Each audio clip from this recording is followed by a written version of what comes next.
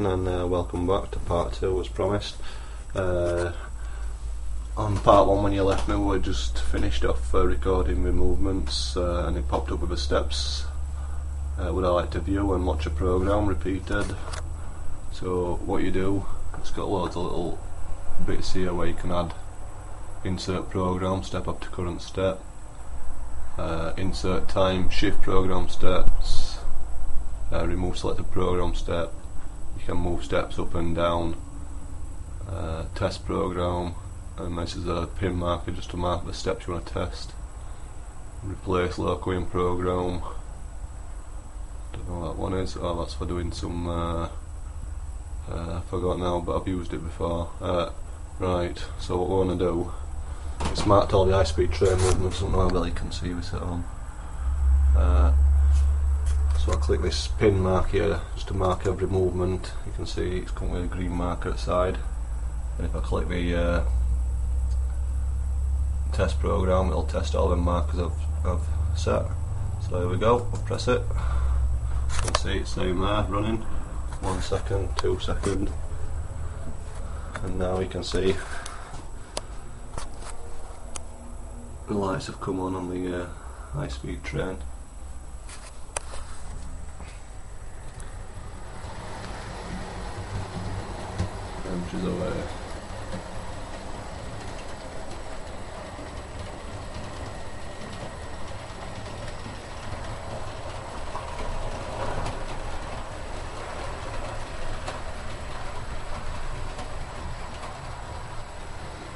So uh, obviously it's going to take about five minutes before it gets back up to where it was.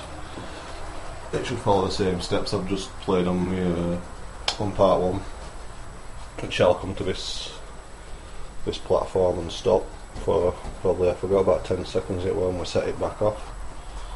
Uh, through this test pro program you'll see uh, obviously this point motor click one way then back as we did in step in uh, program 1. A few people have been asking obviously uh, about other bits and bats I haven't really got into yet with the Rail Master. I'm still learning myself really but it's all all easy. It's just having the time to do it.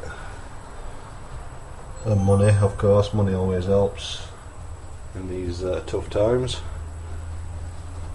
You know what the domestic managers are like, I'm sure we've all got them. Keep track of the uh, money. It's got to be spent on shoes or clothes or household goods, really, or it upsets the domestic manager you can see we're still at uh, step step three. It's still forward.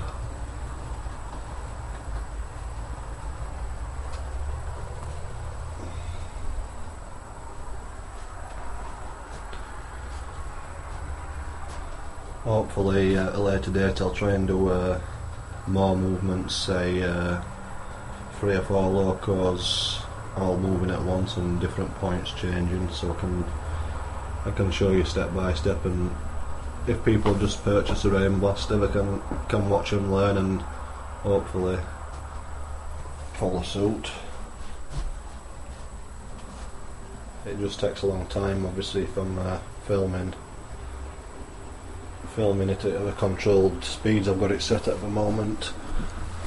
I know the high speed train should really travel a bit faster. I need to set the program so it uh, goes faster on on its normal speed and the shunt. You can alter the times but I've, what I've been doing is uh, I'm getting them all to run pretty much the same sort of speed so I can have them all running at the same time. Uh, and usually keep about a minute plus apart from each other so it's rare that any problem should occur. But you can tell if uh, one loco is going faster than another it will eventually catch it up and you've got to try and watch out for that. We've had a few incidents where uh, we've had some back enders where it's crashed into the back. That's when you're not watching and just getting carried away with other things. But I don't think I'm going to go to expense of having having uh, sensors and stuff like that uh, so the computer knows exactly where each loco is. It's uh, more expense really. I'm pretty much happy with uh, how it's running at the moment with the timers and so on Uh, once once the scenery work's done and a lot of the ballast and all the detailing, the background work. Uh, I got a lot of ideas from uh, Blood Marine 77 also, uh, some of the websites he's mentioned. I've had a look at those and you can download some really good stuff for out. Very impressed with that, cheers mate. I will be trying to print some off and get stuff really on the on the cheap, just get the photo paper and print it off. If it looks well, I'll get some like backing card or or thin board just to stick it on. You can see the uh, high speed trains come to a stop like it uh, it did before. Not very much space to spare there, but obviously if uh, other trains were running, it still still work, it still go through. And we should set back off in a second. So we only stopped it for about 10-15 seconds, I think. Then uh, I think the point movement was after that, so we'll to see the points move one way than the other.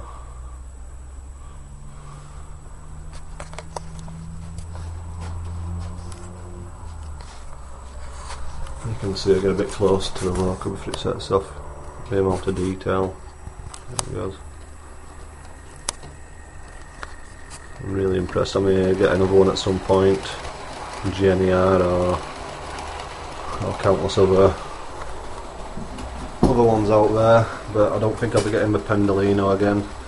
I had one when I first made the uh, layout, the helix and so on, and uh, it's far too light. It can't manage to climb the helix without stopping and wheel spinning. Same with the uh, Bachmann Voyager, that had the same problems. Uh, but this high speed train I have at the moment seems to work great. It's very heavy, it sticks. I'll find out more obviously when I increase to six coaches uh, how well it pulls the weight, especially with the helix and the incline. But at the moment it doesn't have any problem.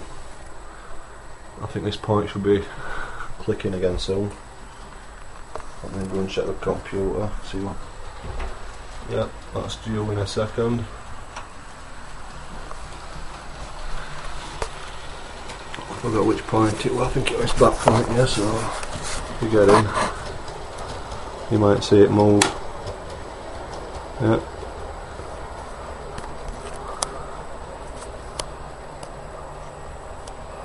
And it should clip back again.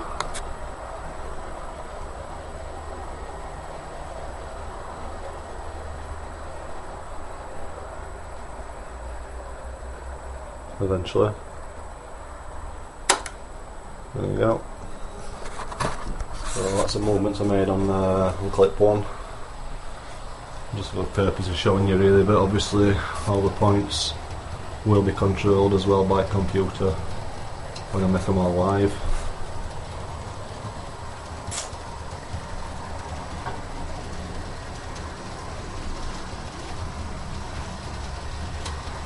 I think when I uh, run the layout I will be increasing uh, each loco to its its scale speed kinda so I'll have to leave a fair old gap when I set this off from the station for it to go at some good speed obviously keep stopping at a station whereas the freight trains can keep trundling round at a steady speed.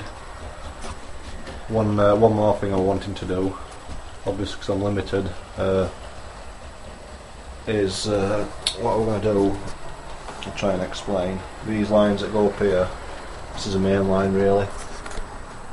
Uh, this is classed as the up, up line and down line. But once it gets past this point, that's it uh, this, they're, they're stuck to the same track. Uh, what I was hoping to do was either put another point in here, or, or at the back, or, or incline, I don't know at the moment. So obviously, if you've got a, a freight train going down slowly on the up line, what I was wanting to do was get a point come across. So obviously, if a nice speed train was on its way, it could get onto onto the down line as long as it were free to come up and obviously overtake the freight train. Then I'd have to put another set of points in either on top here somewhere or at the back. So obviously once it's crossed it can get back onto its right track. So there's no issues with the trains following or coming the other way. That's something else in the pipeline just to make it run better and and faster.